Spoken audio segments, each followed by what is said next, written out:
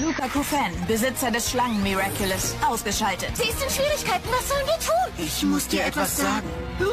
Ah!